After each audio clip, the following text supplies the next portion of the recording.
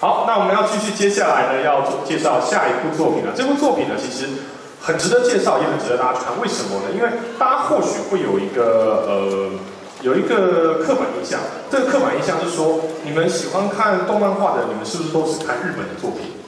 我很多人这样问过我，然后说只要是日本来的阿大雄，你是不是都很喜欢？这个是不是你都最爱？不是，这个其实全世界各地呢。都看日本的作品啊，不是啊，全世界各地在努力的创造自己的一些作品啊，每个国家都是。台湾当然有属于自己台湾的好的作品，重点是你要去看，你要去学，你要去知道这样的一个作品。而接下来这一组呢，这个作品是来自于美国，它是美国美国人做的动画，但是在网络上呢的一个网络的动画，它没有在电视上播过，你可以透过网络来看。这是由美国的一个动画工作室叫做 Rooster 呃 Rooster Teeth Productions 所做的一个网络动画。那那个故事其实很简单，它就是讲四个角色。这角这四个角色呢，符合着他的作品的名称，有四个颜色。那这四个角色呢，他们有各自拥有自己的特殊能力，各自拥有他们非常酷炫的武器跟战斗的技巧。然后他们要呃打败敌人啊，要打败怪兽啊，跟其他团作战啊，这样的一个故事。不知道大家有没有看过这部作品？R W B Y Ruby 这部作品。这部作品呢，里面的四个角色，最主要四个角色就是 R、W 跟 B 跟 Y。那两个呢，最受欢迎的，哦，那我想莫过于是红色的 Ruby Rose，这个拥有着红色短发的少年，他持着一把镰刀跟狙击枪的复合武器。哦，我现在讲可能不大好理解，等下大家自己看就知道了。这样的复合武器有什么优点呢？除了火力非常的强大，可以让整个镰刀的这个运转更快，之外，杀伤力会变得更强哦。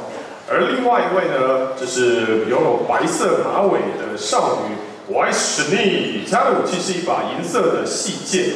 那这是这个作品当中一个比较高傲、比较毒舌的一个角色。这样的角色其实就算是讲英文，还是很受到大家的欢迎哦。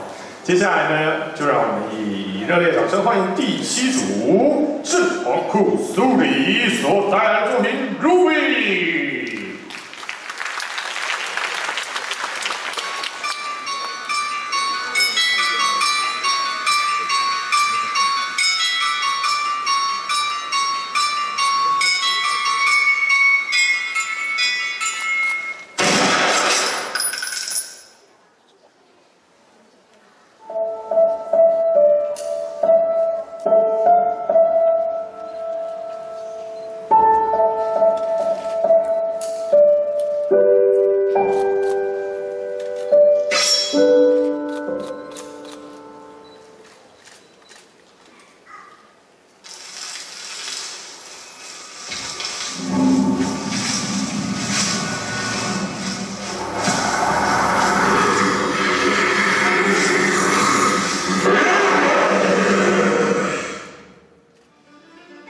almost at a party.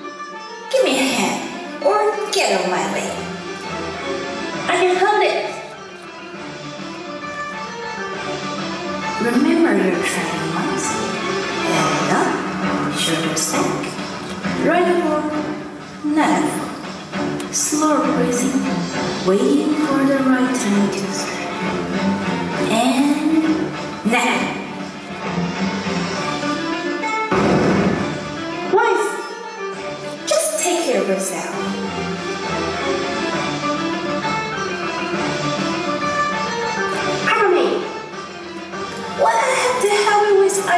what is your plan and understand how much person we can win.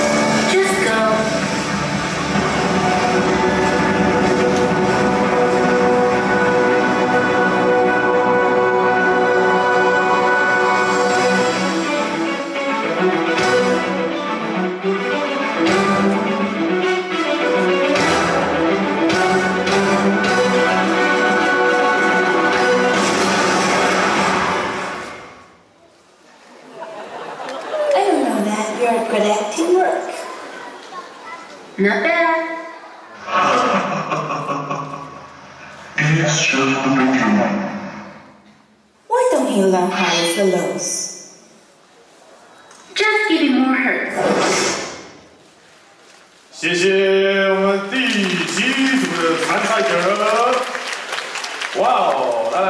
先站一幅给大家看看。这个我们刚刚我刚刚大雄在介绍他们的时候讲到一把武器，那把武器其实真的很难去解释它，它可能就是让大家看过才知道，镰刀是一种浪漫，对不对？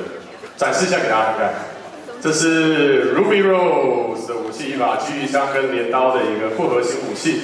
如果大家有机会哦，就可以看看他的动画，里面的战斗非常的热血。这个镰刀战呢，进入在现实当中是不可能的哦。那在这个作品当中呢，可以用很帅气的方式来呈现。呃，另外呢，我们来看看两个全身上下的一个这个服装的一个展示。我们往前站一步，让大家看到，往前站一步。来，我们转一圈，让大家看看。哦，小心的镰刀，不要回到我。哦，我好怕，我怕那个镰刀，我超级怕那个镰刀的。镰刀会给人家一种死亡的印象啊。好，我们来看看。OK，所以其实。诶，刚才这部分其实很细节，然后他们的衣服呢，包含了一个一个别针，一个吊饰，都是都是有兼顾到的，这是 cosplay 最重要的一个精神呢。我们要像原著，我们要像原著的角色，我们就要尽可能做到百分之百像，动作、神情，他所有的服装，服装只不过是是一个基本中的基本而已哦。所以我相信他们做的非常好，我们也再次的以热烈掌声，谢谢第七组的参赛者。谢谢。要挥动这么大一把武器是一件很很很很难的一件事情。我们都知道，在很多动画作品当中，挥大武器的是一件很酷的事。哇哇，事实上的确是。可是问题是，你要在现实当中挥，那是另外一件事情哦。所以我相信呢，用大武器来表演的呢，也是有它的一个难度所在的。